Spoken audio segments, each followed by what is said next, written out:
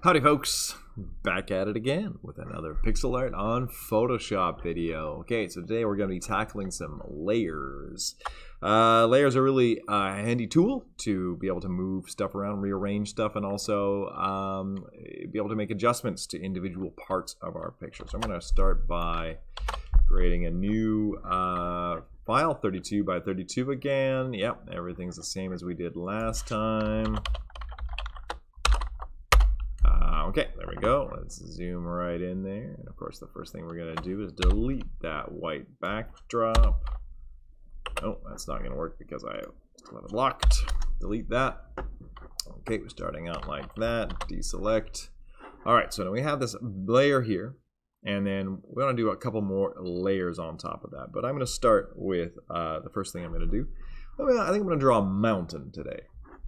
This we're going to get a sort of mountainy color, a nice mountain uh, gray, perhaps, a neutral gray. See over there, see the neutral gray. I'm going to go into my pencil brush. And I'm going to draw this basic shape for a mountain. Look at that mountain. Very nice. I'm going to fill that. So we have sort of a bunch of pixels there. And I can come in with a brush and I can sort of make it a bit more uh, to my liking. I can erase parts of it, make it a bit more perhaps organic looking, uh, more craggy, sort of things like that. Um, yeah, it looks pretty good. If I ever want to see what it looks like uh, without this grid, so as this grid is not going to show up if you actually have a pixel art, this is just to help us. So you can zoom out again and then zoom back in. So I like to do that quite often. I'll be doing that quite a bit in this uh, video presentation. Okay, so we have our basic mountain. This is where the layers are going to start to come in handy. So I'm going to come in here and I'm going to call this mountain. And then I'm going to create a new layer. You see uh, these uh, little shapes here at the bottom. Those are our layer uh, sort of tools. And we can create a new layer by clicking on this uh, little new page kind of thing. And I'm going to call this layer, I'm going to call it sky. So now we have mountain and we have sky over here. I'm actually going to double click on the layer and rename it. I'm going to capitalize it because I am an English geek. Okay, so now we have the sky here and the mountain. So these are actually different things. And I'll show you how that what that means in a second here. I'm going to take this um, and I can, for example, I can take my paint bucket here and what's a nice sky color, this blue. I can fill my sky. Oh no, what has happened to my mountain? Um, this arrangement here of what is on top of what is important. So if I want to see my mountain again, I better put my sky behind it. Does that make sense? So this is actually the arrangement here with the things that are on the top naturally on the top and the things that are on the bottom are on the bottom. Zoom in and zoom out here. There's my mountain. And I'll zoom back in. Okay, so that makes sense. I don't really love this like straight blue sky. You can see I can use these tools here to see uh, things. If I I love that. So I am going to teach you a new tool. So we're going to go back down here to our paint bucket here. But behind the paint bucket, if you click and hold, there's a gradient tool. And I can use my gradient tool to draw a gradient. Right now, this is sort of the default gradient. I can draw it this way. And, oops, I've, I've covered up my mountain. I want to do that on my sky. Uh, I can do that. Oh, that's looking a little fancier, isn't it? That's pretty cool. That's a little easier to see. I can angle it slightly, I suppose, if I kind of wanted that. And if I really want to get fancy, I can come up here and select the type of gradient. So if I uh, come into my gradient editor, that's just clicked on the gradient color up there, I can come in and change the types. So I can change the color.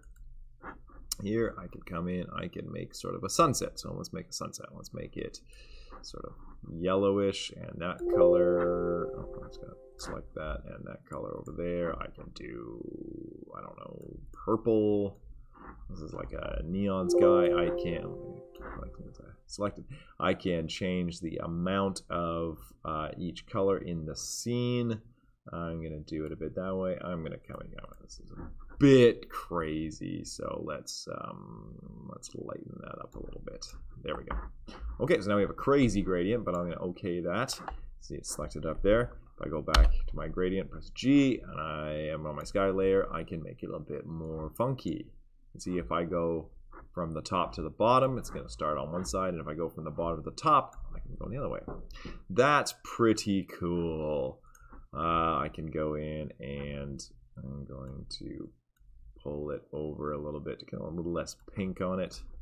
And let's try that again. There we go. I like that. I can just do it the top corner, kind of.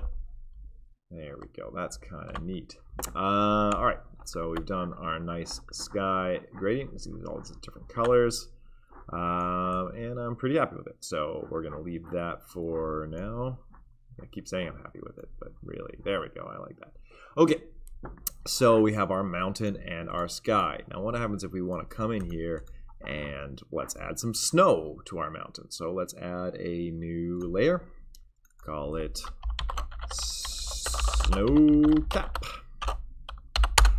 And we're going to come in here to our snow cap. And with our mountain beside behind us, we can come in with our brush, select white, and just make it kind of snowy up there.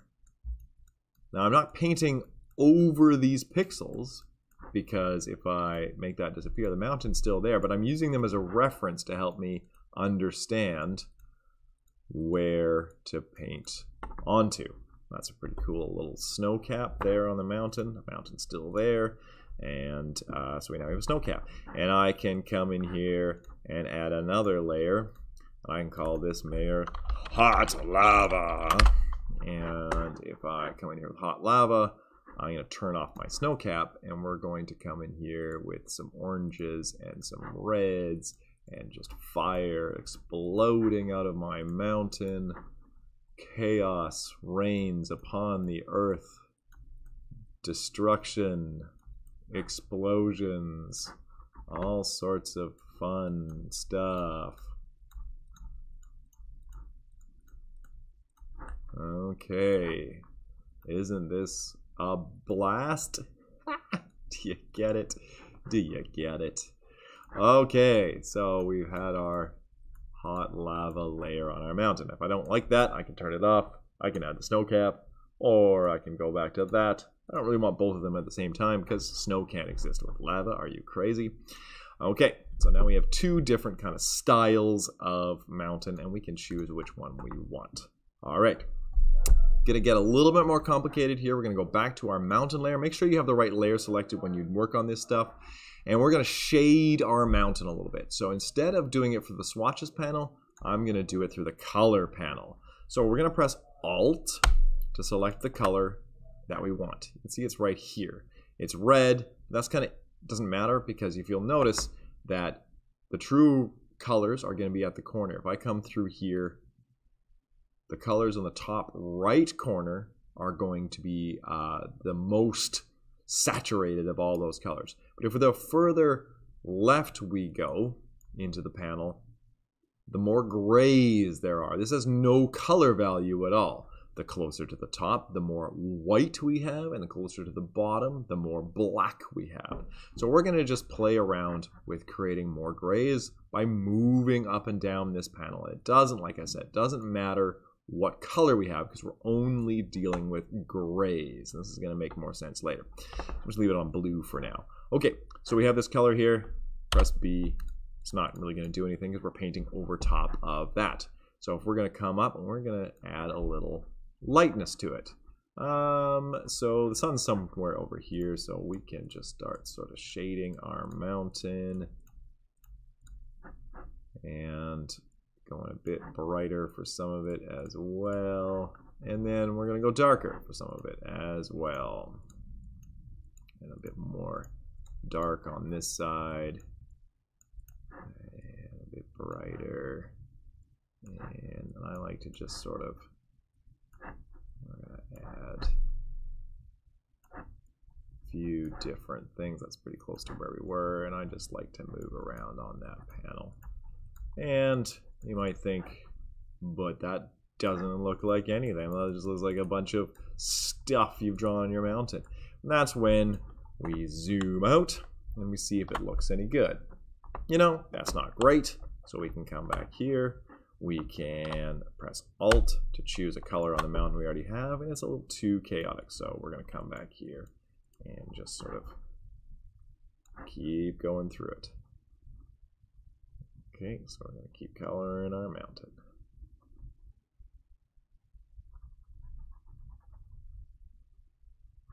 And zoom out. It's getting a bit better.